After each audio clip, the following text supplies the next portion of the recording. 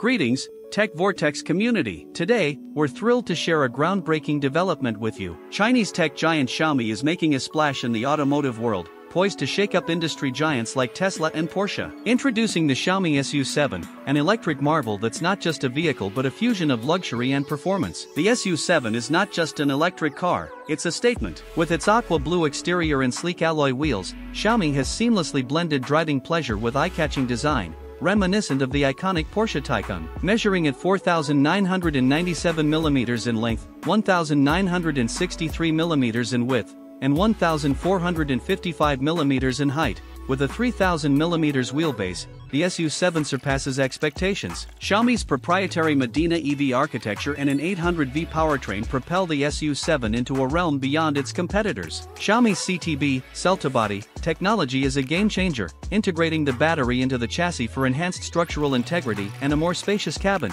With battery options of 73.6 kWh and 101 kWh, the SU7 achieves an impressive range of up to 800 km. Boasting two motor options, V6 and V6S, the SU7 accelerates from 0 to 100 km per hour in just 2.78 seconds. The top-tier V6S model, equipped with a 101 kWh battery, dazzles with an 800 km range, placing it firmly in competition with the best from Tesla. Xiaomi takes the SU7 to the next level with autonomous driving features. High-resolution cameras, LiDAR, ultrasonic sensors, and radar technology create a driving experience that's not just safe but innovative. While specific pricing details are still under wraps, Xiaomi CEO Lei Jun emphasizes the technological prowess behind the SU7, hinting at a competitive price tag. Will this be the beginning of a new era in the electric vehicle landscape? Stay tuned with us to explore more details about the Xiaomi SU7 and the future of automotive technology.